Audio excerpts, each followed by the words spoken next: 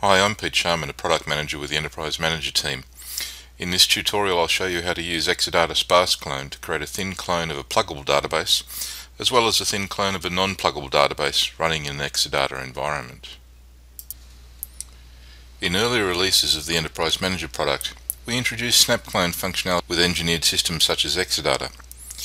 Snap clone is a way of taking advantage of copy on write technology to produce a thin clone of a database allowing cloning of an existing database in a way that takes only a very small subset of the amount of storage used by the existing database. In earlier releases, SnapClone on engineered systems used external storage, such as the Oracle ZFS storage appliance or NetApp Filer, to store the data file artifacts on the clone.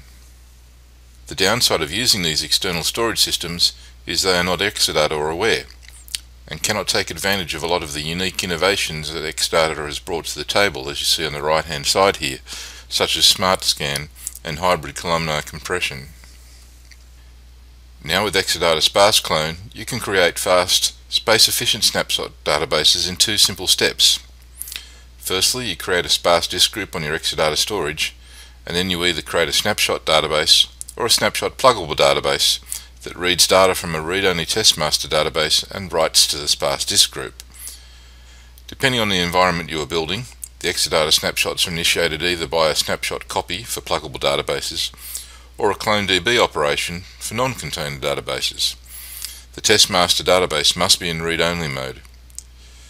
Because we are using a disk group on the Exadata storage, all the Exadata features work as expected on the snapshot databases. Diagrammatically you can picture this as shown. On the left hand side of the picture we have our production database. We use Data Guard and an RMAN clone operation to take a full copy of the production database to our test or development environment. The test master is read-only. The snapshots are made up of sparse files composed only of change blocks. Other data is read from the test master. Now we understand the concepts behind Exadata Sparse Clone, let's have a look at it in action. Firstly, we'll look at using it to clone a pluggable database, and then we'll look at using it to clone a non-container database. Here you can see we have a database called CRM Prod. In this case, it's actually a real application clusters database. You can see that by seeing the, the uh, different instances on two different nodes. Again, I can right-click on this database and walk through the cloning menu to create a test master. I need to provide some credentials on this environment. And again, I'm taking this test master as at the current point in time. I can change the display name so that it's something more meaningful. Notice it's defaulted to a database type of RAC. Uh, that's because we doing this off a RAC database. But remember, this is a read-only environment that we want to build here. So let's swap that back to single instance because RAC environment will give us nothing. So let's select the Oracle Home for that. In this case, I'm going to select the second node of the Exadata cluster. And again, I need to provide some sysASM credentials. We have the same sort of configuration options that we had available to us before. So this time I'm going to leave it again in the same disk group and I'm going to pick a listener and set up a password for the administrative users at SYS, SYSTEM, and DBS and MP. This time I'm going to change some of the parameters so let's drop the SGA target down.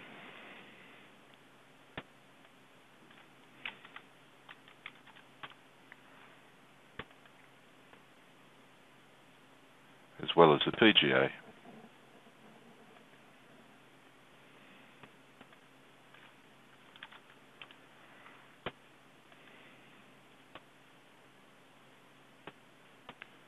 And in this case, I'm going to change the CPU count down as well.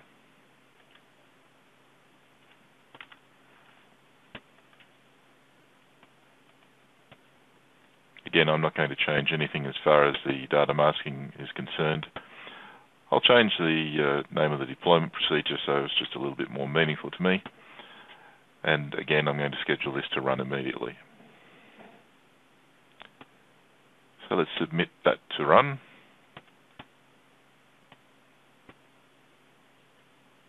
And again, I'll do an expand all. And I'll set it to a 30 second refresh. Again, I'm going to pause the recording while that takes place. We can see that the test master has uh, been created and it obviously didn't take anywhere near as much time as the last one. That is because the size of this database was much smaller than the, the test master we created last time. So let's go and create a sparse clone off this one. To do that we need to go back to the databases page so we can actually see the database.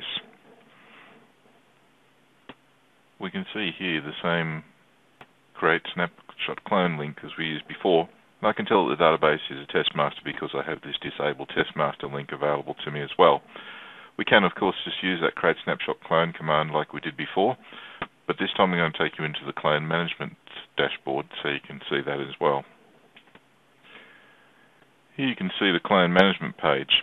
We can hide the target navigation region by clicking on this button to see a bit more of the clone management region instead.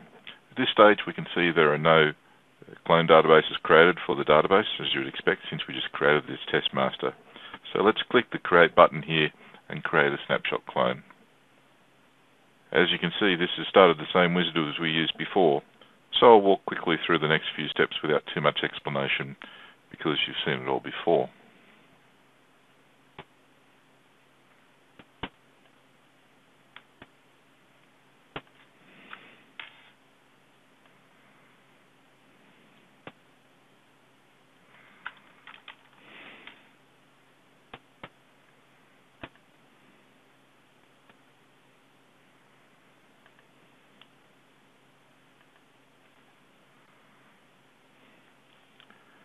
One thing you will notice is slightly different is on the second step of the wizard, we have a couple of extra configuration options we didn't have before, the redo log file size and also the recovery file locations.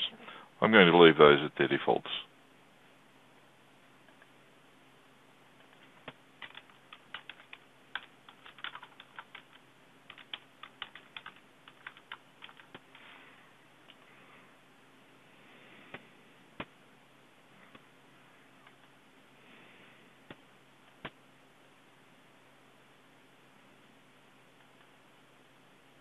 Finally, once we get to the review stage, I can again just look at all the details that have been provided, and if I'm happy with those, I can submit it.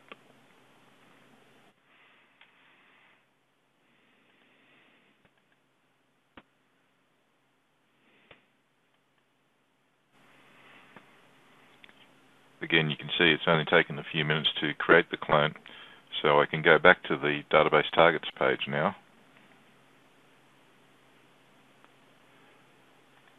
And if I drill into the clone management page for that database, I can see there's now a sparse clone that's been created as we expected. In this screen watch you've seen how easy it is to create Exadata Smart Clone snapshot databases using both a pluggable database and a non-container RAC database as the source.